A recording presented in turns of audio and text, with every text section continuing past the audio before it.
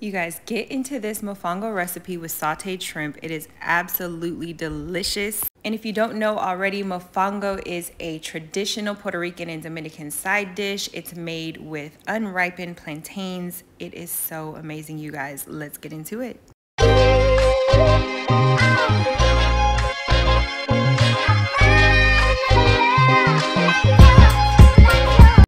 So for this mofongo dish, we are going to pair it with a side of sauteed shrimp that is made in a creamy sofrito sauce. So we're gonna start by making a quick and easy sofrito. It's basically a savory blend of fresh garlic, onions, bell peppers, cilantro, and tomatoes. It's like a Puerto Rican type sauce. It's used as a base for a lot of different dishes. You can use it for rice dishes, soups, stews, marinades. We like to keep it on hand at all times just so that we have it to start our dishes with. So start by cutting up your bell peppers. You are going to just give them a rough chop. You're going to want to remove all of the seeds and veins from your peppers and then you're going to add everything to a blender along with your cilantro and blend it up until it is nice and smooth and just go ahead and put this in an airtight container and set it aside. And now you're going to grab your unripe plantains. These are going to be the green plantains. They're not sweet at all. That is very important when you're making this type of mofongo because we are actually going to fry the plantains. So we don't want sweet, we want unripened green ones.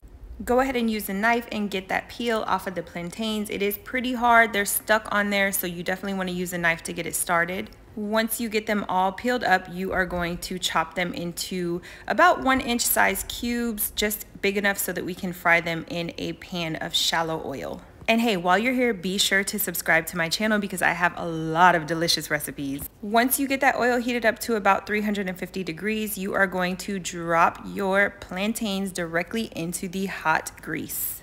And be careful not to overcrowd the pan, just get enough in there so that you can get them fried up. We are going to fry the plantains until they are golden brown. And be sure to move them around the pan every minute or so so that they cook evenly on every single side. And while these plantains are frying up, let me tell you a fun fact about mofongo. Although we know and love it as a traditional Puerto Rican and Dominican dish, Mofongo was actually introduced to the islands by way of West and Central African enslaved people. So while both Dominican and Puerto Ricans like to say that they introduced mofongo or it's their national dish, it was actually brought to the islands by black people. So in honor of Black History Month, that is a cool fun fact about this delicious side dish but we all know and love it the same. And Dominicans actually make it a little bit differently. They like to steam their plantains versus fry. This is just one of those dishes that everybody makes differently and everybody's abuelas make it different and everybody has the best recipe. But I can guarantee you this one is absolutely delicious. So once you get those plantains fried nice and golden brown, you are going to get your mortar and pestle out. If you don't have one of these, you can use a potato masher, you can use a cup to smash them down. The point is you want to get the plantains nice and smashed down. You're going to add a couple heads of garlic in there. You can add your salt now. You can also add your chicharrones, which is a typical ingredient added to mofongo just to give it a little more protein and a little more texture. When I'm making mofongo, I like to line my mortar with some plastic wrap just to make it easy to get out of there and it also makes cleanup a breeze. So once I got a couple heads of garlic mashed down real nicely, I added about three or four pieces of the plantain that we fried up. Then I add in my salt and I go ahead and get to work.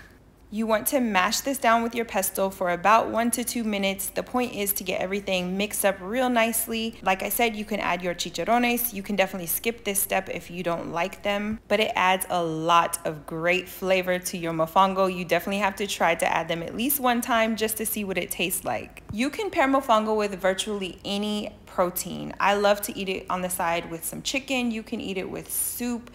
It's a very inexpensive side dish to make that gets you very full. So a lot of people like to enjoy straight mofongo with just some broth or something on the side and I guarantee you, you will get super full. After I made the mofongo with the chicharrones, I made another mofongo with the sofrito that we made. So same thing, you're going to add your plantains to your mortar, you're going to add your salt, and then we put in some of that sofrito that we made previously and we began to mash this down for about two to three minutes until everything was fully combined and mashed up real nicely.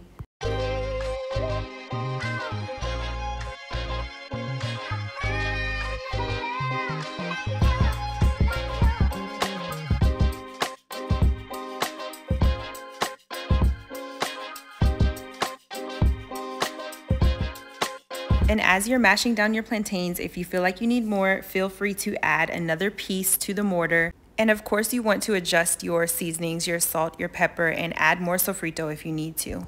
And once you get all of this mashed down and you get your mofongo made and molded into a semi-round shape, you're going to set it aside and we're gonna get started on our sauteed shrimp. So we have our seasonings here, seasoning salt, garlic powder, black pepper, and we have some jumbo prawns, clean and deveined. We got the veins out of both sides of the shrimp, which is super important. Just make sure they're very, very clean. Then I heated up a cast iron skillet over medium heat on the stove and we added about two tablespoons of olive oil. Once that olive oil is piping hot, we're going to add our cleaned and seasoned shrimp directly into the oil.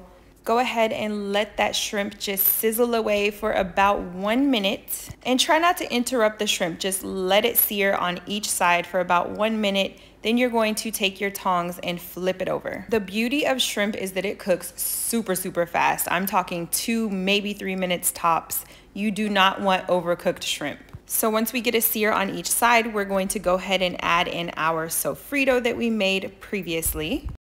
The shrimp is going to continue to cook in the sofrito and we are going to allow it to simmer for about one minute or so. Now you can toss it around so that it's all nice and coated by the sofrito sauce that we added into it.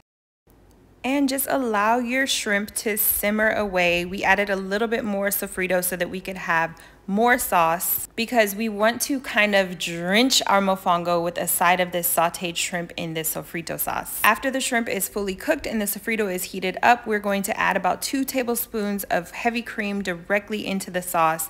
And you guys, this turns out so creamy and so delicious. It's time to plate it up. Add your mofongo onto your plate. It's going to be your vessel to sop up all of that delicious sofrito cream sauce that we made and we sauteed the shrimp in.